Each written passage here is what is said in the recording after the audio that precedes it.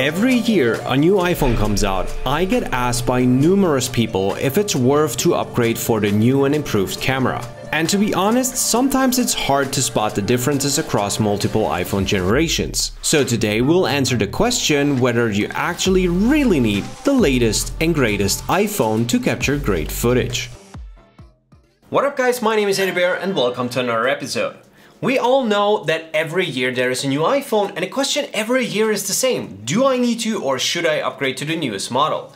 Depending on your photographic needs, the answer to that question isn't necessarily yes especially if you consider that the new 15 Pro by now starts at 1200 euros, where you might as well just get a used 14 Pro for around 950 euros. So it's quite valid to consider older iPhone generations if you don't want to carve out 1200 euros for the latest model. And let's face it, you won't go with the base 128 gig model because you don't want to run out of space all the time. Therefore 512 gig is the way to go, even more so if you like to record lots of videos. Since I don't want to overcomplicate things, this is not a scientific comparison. I will not go into the technical differences of the individual cameras. This is for the everyday user who likes to capture good quality images and wants to know what they get for their buck. Therefore, I will show you footage that is captured during Oktoberfest last year with the iPhone Pro lineup. More specifically, the iPhone 13, 14 and 15 Pro.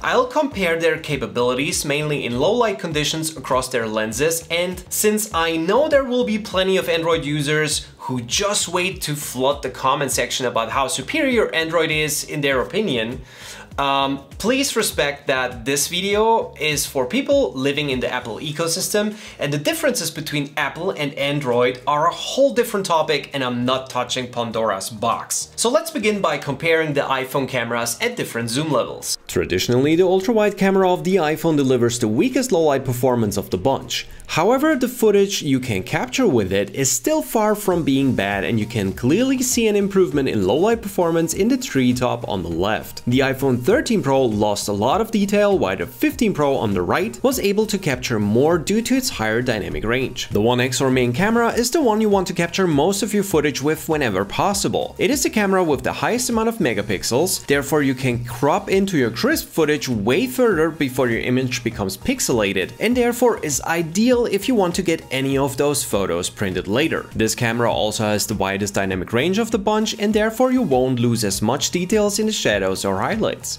When it comes to the 2x zoom, all three iPhones are using the 1x camera lens, which is good because you still retain the low light qualities of that lens. However, they are cropping the sensor in in order to achieve this zoom, so you are losing some of those precious megapixels. The only exception is the iPhone 13 Pro. This one didn't have the ability to crop the sensor and therefore it's digitally zooming into the footage. And that's why the recording has way more noise than the ones from the 14 and 15 Pro. The 3X is the third dedicated lens on all of the Pro iPhones and it used to be very bad at low light compared to the 1X lens. However, you can see that in terms of noise and dynamic range, there is a huge improvement from the iPhone 13 to the 15 Pro. The 15 Pro 3X lens also comes with built-in optical image stabilization, but more about that later. In the zoom level comparison, you are already able to see a few differences in image quality, but some differences are more obvious than others.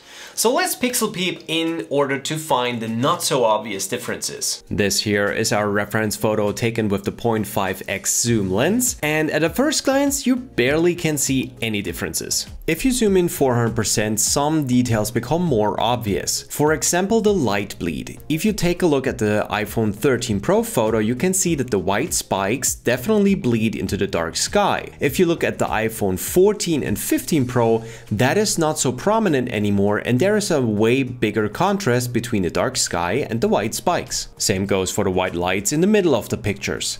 If you look at the iPhone 15 Pro, it is able to render the dark spots between the individual light bulbs, whereas the 13 and 14 Pro almost make it look like it's made out of one solid light. And if you look between the legs of the Ferris wheel, you can see that at the sky area, the iPhone 13 Pro has way more grain than the 14 and 15 does. And talking about grain, this gets even more obvious if you look at the more contrasty or darker parts of the photo. This makes it very clear that the newer the iPhone gets, the better it is when it comes to dim or mixed light scenarios. So the next time you want to take a photo of your food in a restaurant, just ask yourself how much grain is acceptable on your food. Same goes for this photo taken with the 3x lens. Especially when it comes to the color rendering, there is almost no difference between the 14 and 15 Pro photo. However, the moment you zoom in 400%, the results take a sharp turn. So for example, the iPhone 13 Pro 3x sensor does not have image stabilization, so that's why the image is blurry. The iPhone 14 Pro on the other hand already has the first gen image stabilization, and that's why it's more crispy than the 13 Pro, however it is still not as sharp as the 15 Pro with the second generation image stabilization. And since the photo of the 15 Pro is so much sharper, just look how much more details you can find on the statue's arm, or you can even see the individual hair strains of the lion's head. So these results translate pretty much to the next time you want to record someone on a stage or you go to a zoo in order to record some animals.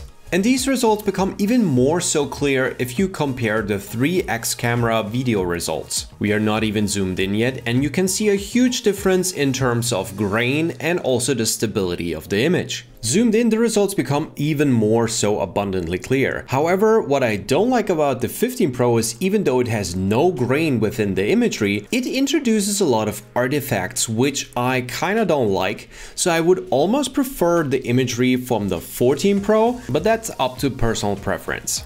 By this time you probably already noticed that the video footage from the iPhone 15 Pro is pretty much rock solid, even though I didn't add any image stabilization post. So let me show you what happens if you glue three iPhones together and run like a crazy person.